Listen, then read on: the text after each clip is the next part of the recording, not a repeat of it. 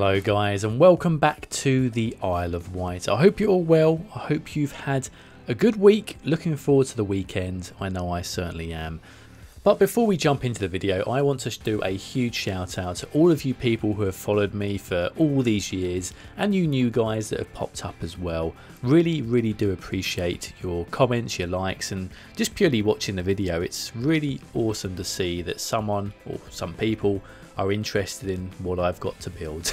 and we did have a lot of amazing and nice comments as well. I can't list them all on today's video but we had some really nice comments a lot of you guys who have been following from the very early days as well Derek Small for example I've seen you around for a long long time and not forgetting Chrysler as well he has been around since pretty much day one which is really cool to see now we also had a nice comment here from Aggie Boy who mentioned about putting in some parks underneath the amusement buildings to attract more people.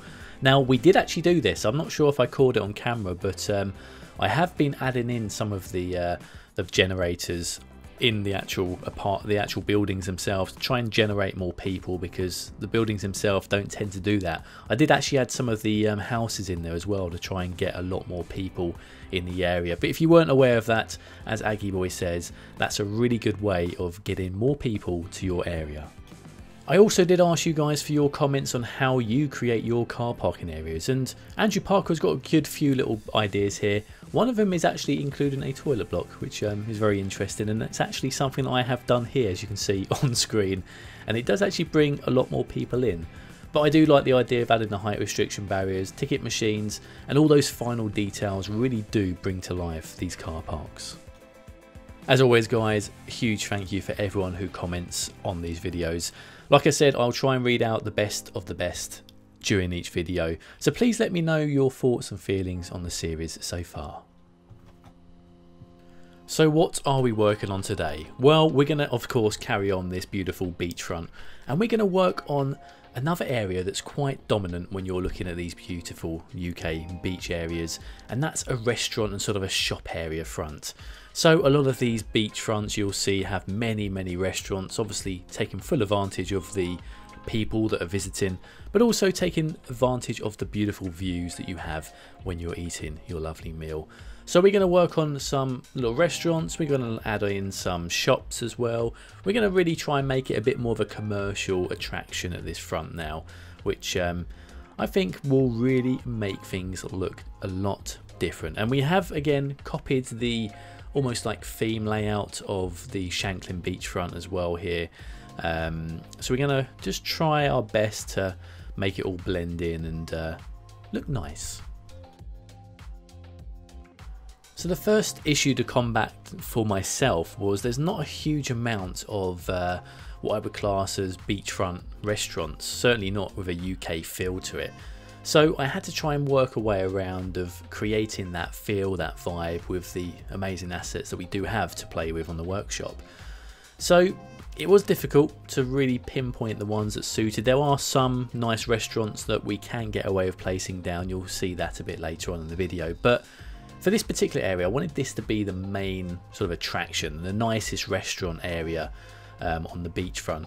And the way that I thought to do this best was to carry on using these um, these well they're not hotels but they're kind of like apartment buildings which we've used already in the video um, last week for the, uh, the hotel look so I thought that was the best way of doing so we had to do a bit of PO work as you can see here to hide some of the uh, the steps to make it not look so much like a, um, a house um, and we've used these uh, these doors as well from the workshop and put them in made them a little bit bigger um, to prop those in. And you'll see as well the referencing of the, the building itself here was a little bit larger than what it should have been. Um, like I said, these buildings were made very early doors in terms of the city skylines uh, asset and building creation community. So we did descale it down a little bit and um, use the doors and the prop there of the person to, to create the reference point to make sure they are in line with what it should be. It's no point having a building that's too big, it'll just look silly. So that is that and this is how we're going to try and recreate the look of a nice restaurant area. So I wanted to try and make it in a sort of a two tier factor. Um, so the hotel's a little bit higher than perhaps the bottom half um, of the seating area. Um, have a big large area as well also to really make it look like there's a sort of a bar or uh, you know a little seating area for when you're walking past you don't have to go for a main meal you can just grab yourself a nice little drink and sit by the seafront um, and really take in the views and um, the atmosphere of the area.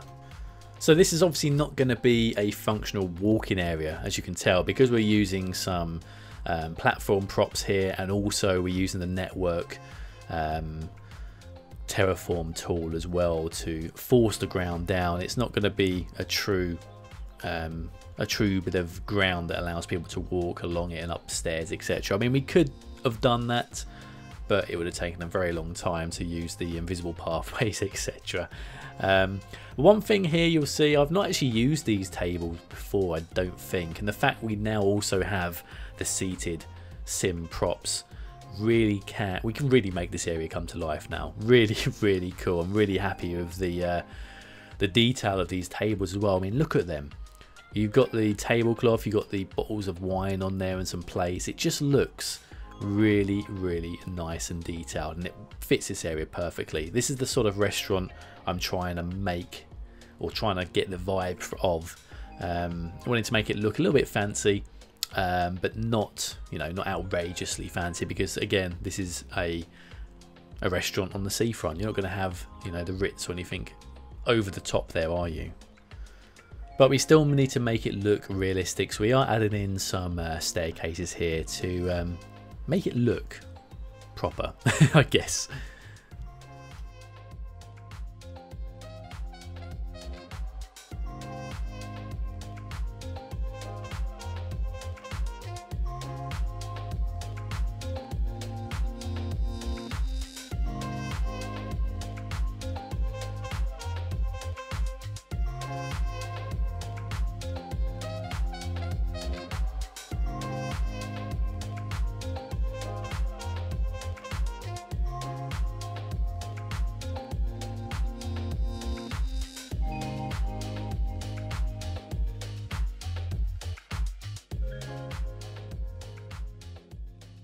Also, I don't know if it's just me, but these cobbled walls uh, always remind me of the seaside. Really, really do, especially obviously in the UK. Um, they always do give that vibe of a, a, sort of a UK seafront feel, which is why I went for those particular walls. We could have obviously made it a lot cleaner and gone for a different type of wall, but I think it works quite nicely combined together here. Um, and also wanted to add in some of these awnings and some uh, of the uh, beautiful umbrellas to give a little bit of variance between the two areas. Um, unfortunately, in the UK, we do have a lot of rain, so it's quite often that there will be some sort of uh, a. Um, I was going to say shaded area, but we obviously do get a bit of sunshine, so the shaded area does work. But if it also works as a preventative of rain, then result is pretty much spot on.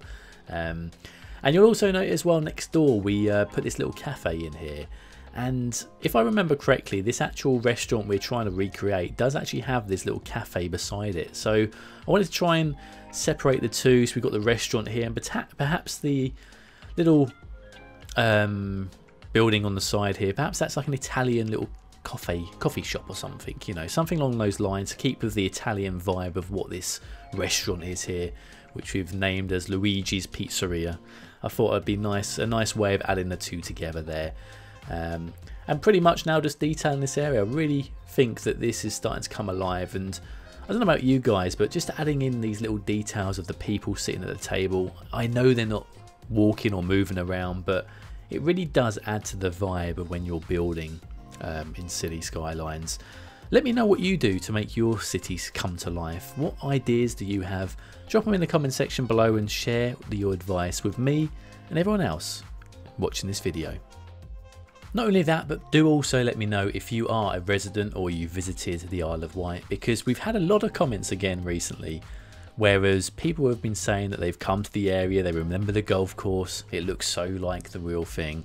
It is so amazing to see that people have seen the video from YouTube um, and found us. You know, we are just recreating a location I really enjoy going to. And the fact that people from the island are actually seeing this is absolutely incredible. Really, really happy. So, if you are a resident of the Isle of Wight, let me know where you're from. Let me know how long you've been watching the video. I'll be really pleased to hear from you guys.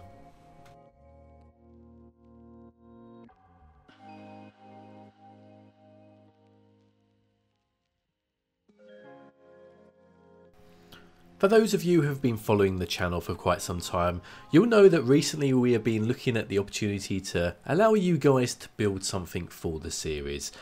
Now, I decided on a farmhouse because it's a relatively small build and quite easy for me to deploy on the island. And, well, I wanted to get you guys involved in the series a little bit more. So if you are interested in building something like this, check out the description details below on how you can do so. This week we have a submission from Jacob. Now Jacob has put together this really, really cool farmhouse. Perfect in terms of its size and just look at the detail before we even zoom in. The attention to detail here is astonishing, it really is. I love the layout, you've got the central house, you've got some sheds on the side, you've got a, a little bit of a scrappy area in the corner there with the uh, the caravan and some of the uh, the tools etc. You've got the shed with the uh, machinery in as well and these puddles, I don't think I've used these puddles enough. These puddle decals are exceptional. They look so good in the game and they are working so well with this particular build. I also like the fact that he's gone into quite a lot of detail here in terms of the actual farmhouse itself with a little football pitch there, some chairs around the table and a little barbecue in the corner. All in all, this is an absolutely amazing build. Thank you very much, Jacob, for your submission. I am so pleased to have put this down on the Isle of Wight.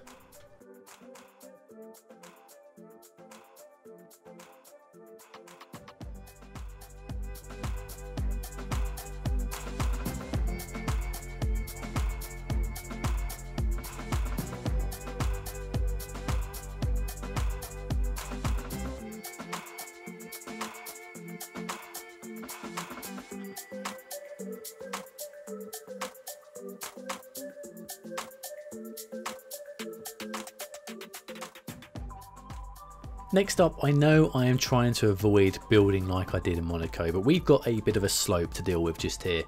And what better way of doing so than placing some terraced houses. Terrace houses are so much easier to place on a steep hill or steepish hill as this case may be. I found by using these smaller buildings, in this instance the terraced houses which are only 2 by 2 I think in terms of the footprint of the grid, you can get away with raising them up a lot higher than you could do with a larger building with a much wider footprint. The reason obviously because there's not as much to raise up. Um, these houses that I'm using, particularly these terrace houses, are a lot more forgiving with raising up because of how they've been modelled, which works out really well. But if you're trying to deal with slopes with large buildings, I would suggest looking for some more slimmer buildings and place those down because they do really help when you're trying to navigate the hilly terrain compounds um, of, a, of a location. And at the end of the day, when you're building on some sort of terrain, it looks so much more realistic. If you're building purely on a flat level plane, obviously they do look beautiful. You can really get away with playing the game in a very different way than uh, if you're dealing with a lot of terrain changes. But in my opinion, personally, I like to build on unique terrains just to make it look a lot more realistic. And not only that, but these terrace houses work perfectly for a UK theme. So all in all, it worked out really well for me. So really happy with that find. And um, yeah, it all worked out as planned for once. Doesn't always happen that way. I know a lot of you will probably be feeling the same. Sometimes you find a building that you plop down and it works perfectly well in your mind and then you end up scrolling through the other hundreds and thousands of assets you've got and you pick out one that works slightly better. So never never fear if you're building something that doesn't quite look that good. You can always go back to stuff and amend it or work around it. And remember there's never a reason why a build in city skylines is wrong. You're building your own creativity the flair of inspiration that's inside your mindset. So just go with it. Just go with the flow. Build and really get yourself involved because I think that's one thing I hear a lot in the community is people struggling to get going in a build and I can completely understand that. I had that stumbling block when I first started playing the game where I just didn't know how to begin. Um, I started working with road networks and trying to think of a way of engaging some creativity with a layout of a road but sometimes it doesn't work that way and you need to try a few other techniques to really get your mindset going and one thing I would highly recommend is if you are really really stuck jump into Google Maps just find a location nearby to you that you've physically seen by walking around and look at the map in a Google map perspective. Have a look at it, see how it all works. Obviously, you've got the vision of what it looks like in first person walking around the area and use both of the ideas and concepts to firstly get down some sort of a layout and then use both the Google Maps and your own vision of what the area looks like and just detail it and see how it works. That way you really learn how certain areas are built up and how things function. And if things function correctly as they would do in a day-to-day -day location, they will look realistic. It's a fact. It's the way the way it works. The way we see things looking realistic is because it paints a picture, paints a story of what is the norm for that area. So give it a go and let me know your thoughts in the comment section below how you get over that stumbling block. Next up, you'll see we are putting down some sheds. You may think that's a strange thing to see, but it's very, very common in the UK. You'll tend to see these little sheds or shacks or whatever you want to class them at, basically along the beachfront, and they have normally two purposes. One is they are fishing huts for people to store their fishing equipment, or more commonly that I am aware of, is they are on the beachfront and you would basically hire or you would own one of these little sheds and you would just put your belongings in there. Maybe you have got a, a paddle board or a kayak that you want to store when you're over here and you'll just plop it in there, leave it there and that's it, it's nice and safe. Alternately, you could also use these as an actual outbuilding for you to enjoy the sun in, um, whether you're sitting inside and you've got your food in there, etc., or you are just using it to um, accommodate your possessions. Either way, they are both very common to see on a beachfront. And again, you'll see we took full advantage of the uh, move it tool to allow you to change the colors because typically you would see these sheds in really nice, bright, beautiful colours. They wouldn't just be wooden sheds. People do paint them to make them look more seasidey and you know your own your own shed, etc., etc.